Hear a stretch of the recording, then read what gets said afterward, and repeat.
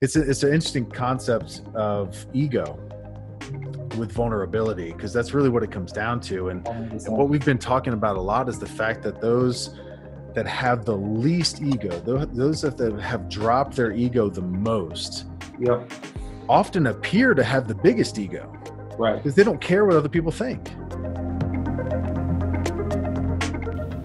so many people you talk about humble beginnings humble beginnings. Number one if you're talking about being humble on social media you're not. Because the truly humble people don't have to talk about it right? It's kind of that whole hashtag humble brag. Like hey man i'm a humble guy but blah blah blah blah blah blah blah. Humble butt humble butt humble butt. Like i guess should make a rap song called humble butt. That girl she got a humble butt the only way that you're going to get better is by getting help. The only way you're going to get out of this slump is possibly by allowing someone else in, shedding that ego, explain what's going on, and get that third party opinion on what you're doing. It seems like the people that appear to have the biggest ego actually have the least. Uh, and it's because like you look like a guy like you know one of my coaches uh, Sean Whalen I don't know if you guys know Sean Whalen um, he's incredible. Um, you know, he he 100% appears to have the biggest ego of all time. But he has no ego when you actually get to know him. But he can stand on a stage and say like, I don't care about any of you. Like I, I could care less about what any of you think. And that comes across as like, oh, it's this guy's got a huge ego. He's full of himself. but he would do anything for anyone. And it's because of the fact that you know he calls it um, the king eats first and it's putting yourself first. You have to be selfish to be selfless, and you can only give from the overflow of you being taken care of. So you have to focus on yourself first to be able to add value to anybody else. And that to me is the definition of losing your ego. Because you know, if you're not taking care of yourself, how much value can you really be to anyone? Now, that whole oxygen mask first analogy, like everybody knows it. Like, put your oxygen mask on first. Like, everybody knows it. They can recite it. They, you know, it's like a cliche, but the number of people that are actually living that out is very, very low. With ego, those that appear to have the biggest, in fact, have the least because the ability to say I, I could absolutely care what you think. That that comes across as as as I have the biggest ego. But the reality is what it means is like I'll do anything for you.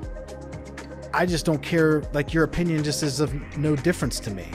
Uh, and those that I have found that look from the outside looking in look to be the just the biggest ego like this guy's just completely full of himself and you get to know the person it's actually the exact opposite yeah. uh, and i think it's because like, it's because of it social media are, are they're, they're lying they're yeah. uh, portraying a certain life and that's why i know you brought up stories um, as a really important part right yeah. stories are the tool they shouldn't even be called stories they should be called you know the truth serum yeah um, I look at it as a vlog. That's all, exactly, all it is. Because it's lifetime, they, or it, it, doesn't have to be lifetime, but it's, it's, really important. Of people see me when I get up. They see when I'm with my son. They see me getting on the Metro North train. I don't have a driver. I don't have anything. I struggle just like everyone else does, and get to a meeting, get to the gym, fight through the workout, yep. fly to another meeting, do all these things, and it's it's the truth. You can't feed your family and your ego at the same time. That's one of the biggest things I see across social media as I see egos being fed, egos being fed, egos being fed. It's like social media becomes this machine to feed people's ego. But you cannot feed your ego and your family at the same time. I think once that you once you come to that realization, your world will be unlocked you will have so many different new perspectives on the way that you see the world, the way that you use social media, uh, and the way that you go about your life and your relationships and everything that you have. Ego is the enemy. If you've read that book, Ryan Holiday, it's an incredible book, uh, but it's, it's just a fact. You will not feed your family and your ego at the same time. So the, the sooner, the quicker you kill your ego, um, the faster that you're going to be headed towards success. Like, like I look at a guy like Sean Whalen that, that I mentioned in the beginning like this guy when he stands on stage and talks you look at him and you're like man this guy's just egotistical he's just full of himself it's like no like he's just free Like he's Yeah. completely free because he can stand there and say, like, I don't care what any of you think, Right. but I'll do anything for any of you. Right. And And I think Yeah, and that's the key. yeah, I think uh, like a lot of people have this disposition of I don't care what you think. I'm going to do my thing. Great. But I think we have to get really real and say, is that disposition, while the, the statement is true, like you shouldn't care what other people think, but is it rooted in love or is it rooted in fear? I was listening again to a number of different uh, sermons from Erwin McManus, uh, Mosaic Church out in Hollywood, California. And he said in this sermon, he said, God wishes to kill your ego, not your ambition. It is God's desire to kill your ego, not your ambition. Just had this old feeling from when I first got started doing this come back to me. And, and it just told me to say, hey, jump on Facebook, get on Facebook Live, and just tell your story.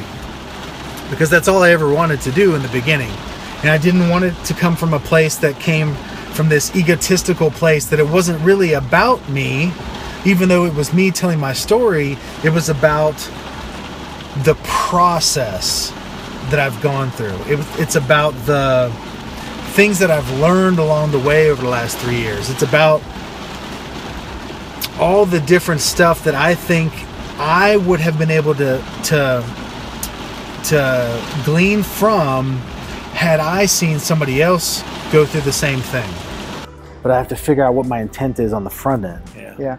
Um, to be able to guide me in the right direction so that I can do things on purpose, but that there's purpose behind it. Yeah. And so I think you have to take a a very deep look inside of you and figure out why am I here? What is my purpose? What are the most important things for me to accomplish in my life? And then through that framework of intention, you have to view everything that's on your plate.